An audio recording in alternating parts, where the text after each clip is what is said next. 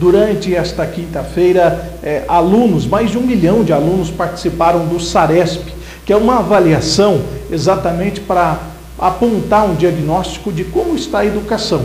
É uma preocupação recorrente, principalmente por causa da pandemia. Nós tivemos muitas aulas online e isso vai mostrar o retrato. E os alunos da rede municipal também fizeram essa prova. Um sistema de avaliação do aprendizado dos alunos, para que a gente possa saber com clareza quais são os impactos e que tamanho que é isso causado pela pandemia nos nossos estudantes. O que, que a pandemia causou de estrago em relação ao ensino e aprendizagem dos alunos? Ter dados precisos é essencial para que a gente possa seguir melhorando a qualidade do ensino nas escolas aqui da nossa prefeitura.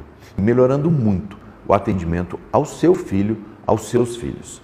Além de enfrentarmos a fase mais crítica da pandemia, nós tivemos que consertar os prédios escolares e reestruturar todo o sistema de ensino quando a gente assumiu aqui em janeiro de 2021. Nós já pudemos melhorar muito, desenvolver muito e principalmente, olha só, com o reforço de contraturno ou no contraturno das nossas aulas com os nossos alunos.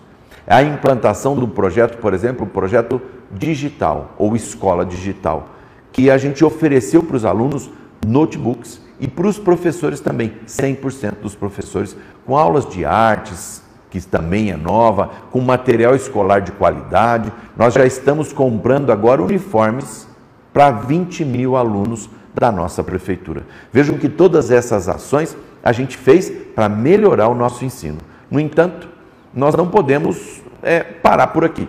Por isso, a importância dessa avaliação do SARESP, que nos dará novos parâmetros para seguirmos evoluindo, seguirmos melhorando a qualidade do ensino para as nossas crianças aqui na nossa cidade. Governar com seriedade, gente, requer fazer avaliação constante do nosso serviço e dos resultados que a gente obtém.